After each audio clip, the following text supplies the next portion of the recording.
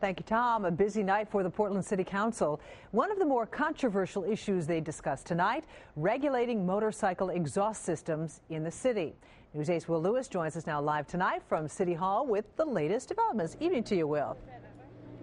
Good evening to you, Tori. You know that Portland City Council decided to refer the issue back to the Public Safety Committee. Now, you know, some motorcycle enthusiasts that got up to testify say they've worked second jobs and saved a lot of money just to get those motorcycles. And they say if the ordinance would have passed, it could have cost a lot of tourism dollars for the city of Portland. Now, according to those motorcycle riders, they say they sound loud together, but as a single rider, they are not breaking any laws. Close to 30 bikers left Big Moose Harley Davidson and showed a united front to the city council. However, there are those that still maintain removing motor removing factory installed exhaust systems is illegal and some type of regulation is needed. Councilor Dan Skolnik sponsored the bill and feels that the ordinance will not affect most the riders that testified. They say it's meant for the insanely loud motorcycles, but there are still some that say the ordinance is wrong.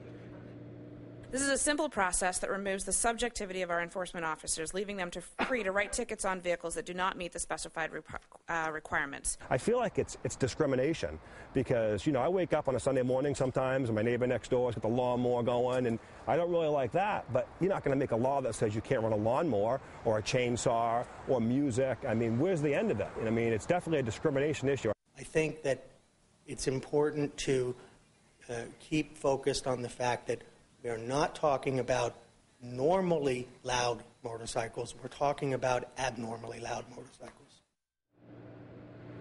Now, one thing all councilors wanted to say is this is not discriminating against anybody that rides motorcycles. They say they just want to find some way to control the noise. Now, you know, this is going to go back to Public Safety Committee on October 13th, and the motorcycle riders that we spoke to said they will be at that meeting to help craft an ordinance that both motorcycle riders and the City Council and the people of Portland can abide by.